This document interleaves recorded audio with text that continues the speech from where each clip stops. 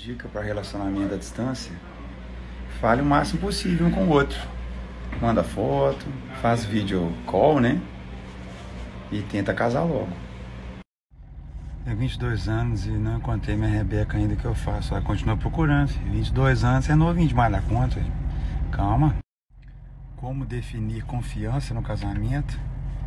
Uai, gente, vocês namoraram, noivaram e depois de casado que vocês querem falar de trem de confiança?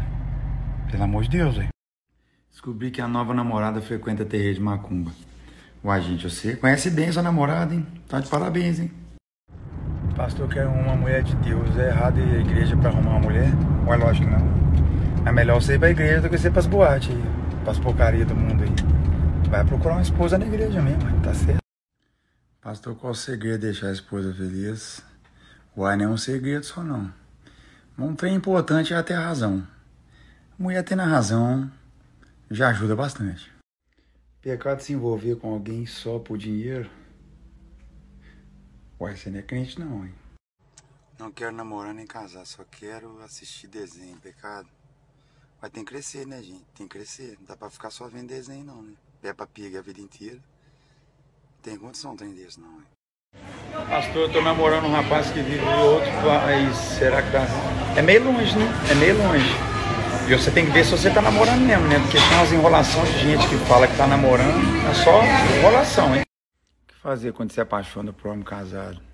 Mas tem que ser liberta desse demônio, né? Na sua cabeça, na sua vida. Que a vergonha na cara e ser liberta desse endemoniamento aí que você tá, né? O homem é casado, você tem que criar vergonha na sua cara e ser liberta desse capeta aí. Né? O que fazer quando apaixona em outra pessoa casada e você também é? Vai fazer é criar vergonha na sua cara, né? Vagabundice dessa.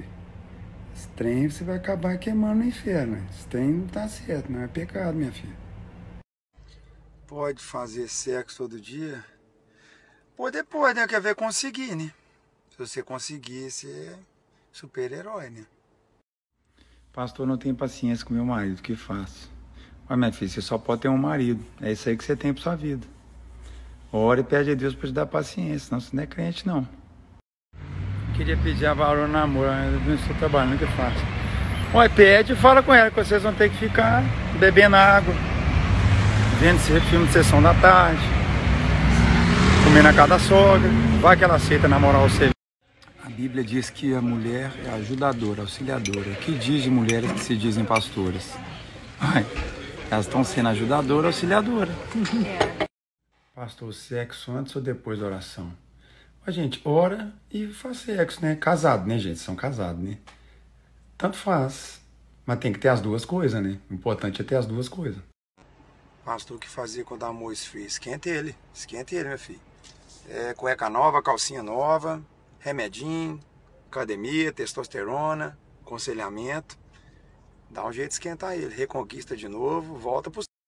Qual a sua opinião sobre o marido que só critica a esposa? É um homem chato, né? Acontece, tem gente que é homem chato, né? Homem chato, acontece. Agora casou, aguenta, né? E vai orando pra ver se melhora.